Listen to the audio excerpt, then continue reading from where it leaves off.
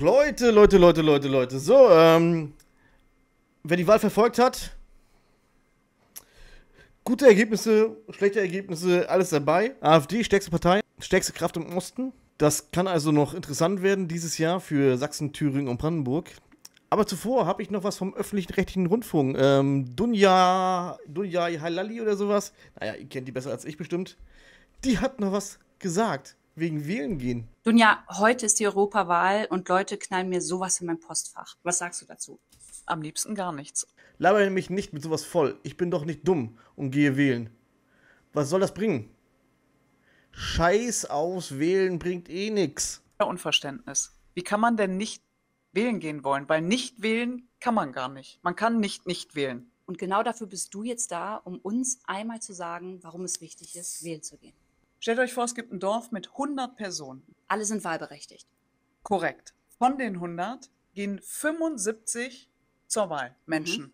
Wahlberechtigte. Mhm. Von den 75 wiederum wählen dann neun Leute eine A-Loch-Partei? Korrekt. Also das. Mhm.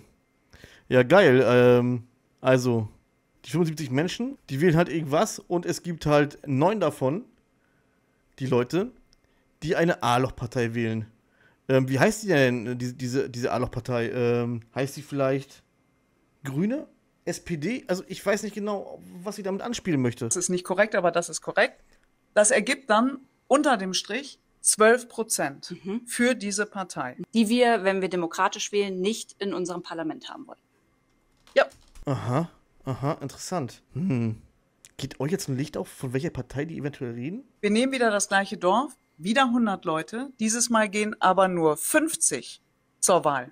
Und wieder wählen neun Leute die A-Loch-Partei. Ergibt dieses Mal nicht etwa die gleiche Prozentzahl, sondern 18 Prozent. Also macht man sie stärker. Korrekt. Also man kann nicht nicht wählen gehen. Oh, interessant. Okay. So wie man nicht nicht kommunizieren kann. Also geht wählen. Ihr habt heute bis 18 Uhr noch Zeit, eure Stimme abzugeben. Geht bitte ins Wahllokal. Ich frage mich jetzt wirklich, ob äh, Dunja Halali, Halali, ich weiß nicht, wie die genau heißt, ne? Ähm, ob die jetzt heute Abend ihre Partnerin, falls sie eine hat, Oh nein, nein, oh nein, ich werde meinen Job verlieren. Oh nein. Ja, Dunja, sowas passiert halt, wenn man immer den gleichen System hinterherläuft. Dunja, ich hoffe, du bist jetzt nicht am Heulen.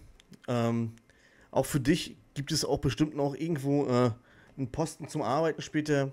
Wir brauchen immer noch Pflegekräfte. Es gibt Jobs, die will halt nicht jeder machen. Und wenn man so viel in der Scheiße umhergebadet ist wie du, und ähm, dann kannst du vielleicht auch einen normalen Job nachgehen. Werden wir sehen, was noch die nächsten Jahre so passiert. Ich bin auch gegen den öffentlichen Rundfunk. Diese eingezogenen Steuergelder für solche Leute, tut mir leid, ähm, möchte ich nicht ausgeben. So wie sie keine A-Loch-Partei haben möchte, möchte ich gewisse Dinge auch nicht haben. Leute, das war schon.